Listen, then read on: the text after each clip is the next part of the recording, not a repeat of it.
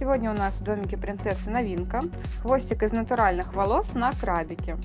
Цвет 613, классический блондин. Сегодня мы посмотрим, как его крепить. Крепится он очень просто. Можно собрать свои волоски для того, чтобы красиво выглядела как хвостик, прическа. И одеваем крабик.